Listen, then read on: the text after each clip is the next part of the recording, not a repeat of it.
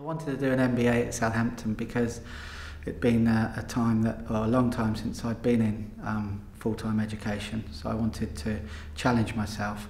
But I think also I'd become stale within the workplace and, and running my own business is a, is a very lonely place and I wanted the opportunity to talk to people that of a, of a similar nature really.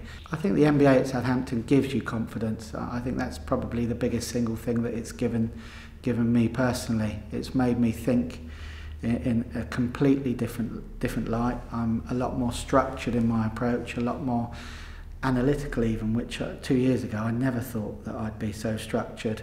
Uh, and I, I think reading academic theory uh, and and looking through it and picking it to pieces gives you the confidence to move on into the workplace and, and sometimes make major decisions um, with the academic theory at the back of your mind and you tend to adapt that